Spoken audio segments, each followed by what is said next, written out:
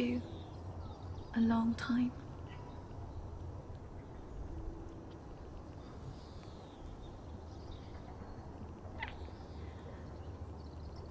Those eyes. I can feel your heart. Jesus, I'm no doctor, but it's going to burst. Oh, without a doubt. Mine too. Damien O'Donovan. What was the rest of that dream? Rupert, Yes.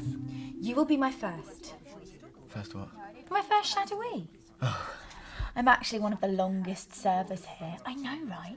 It's taken this long for Dawn to finally give me a shot at it. Usually it's Shaz, but not today.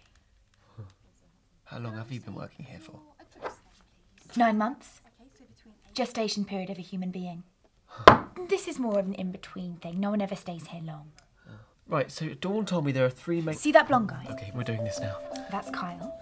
He's a proper ladies' man. Tried it on with every single girl that comes through here. Hey, Kyle. Hey, Ryan. Well, almost.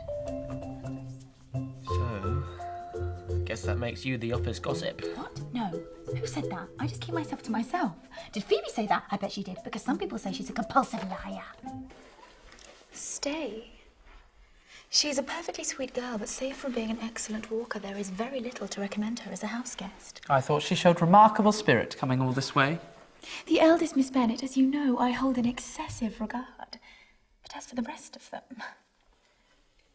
you do know their uncle is in trade, in Cheapside. And if you step one booted foot in my call centre again, Technically, it's uh, my call centre now. Rupert, have you heard the big news? Hella, shut up! You are the best of a very bad bunch. Sorry. Please just still give me the job.